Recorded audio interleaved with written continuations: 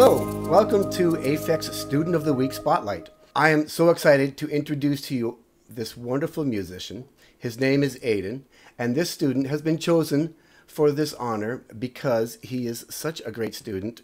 He's a talented guy and he likes to play pretty well everything I put in front of him. So um, let's meet Aidan. Here he is.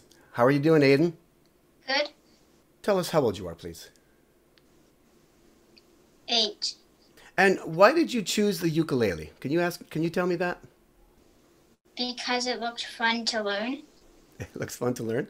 What is the most fun part about learning how to play the ukulele? Learning the chords. Learning the chords. You like playing chords, huh?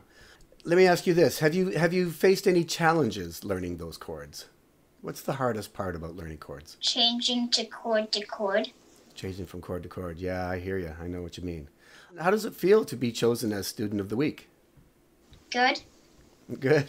Okay. Cool. What advice would you give to a new student who's starting to learn how to play the ukulele?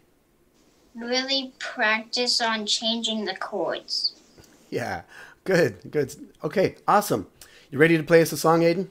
Yes. Cool. Okay. And um, so, what's what song have you chosen? You are my sunshine. Great. Okay. You ready?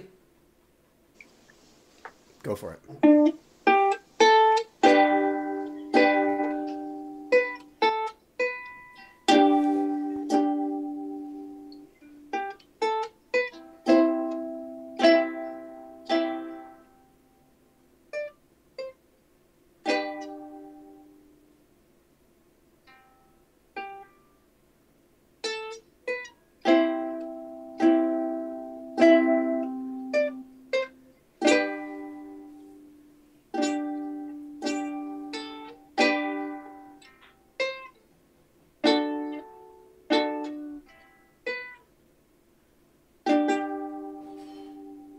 Yeah, that was great, Aidan.